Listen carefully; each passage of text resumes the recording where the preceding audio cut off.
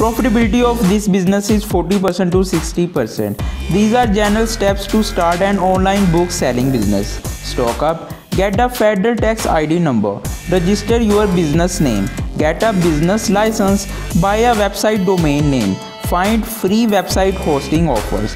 Further, you can sell your books inventory at different websites mainly like Amazon, Shopify and Blurb.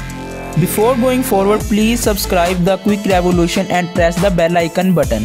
What you need to do, for example, let assume if you buy a book at a price of $10, then you should sell that book online in the range of $14 to $16. In such way, if you sell 100 books at the rate of for example $16, then your profit would be $600 directly.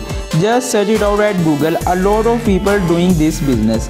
As always I say, your interest should be parallel with the business you select. So if you love books, then this is that business which you are looking for. Otherwise, you can find other businesses according to your interest in my channel and try your luck there.